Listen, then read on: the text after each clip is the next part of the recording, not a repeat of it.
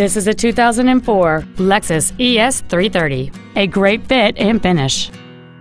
It has a 3.3-liter six-cylinder engine and an automatic transmission.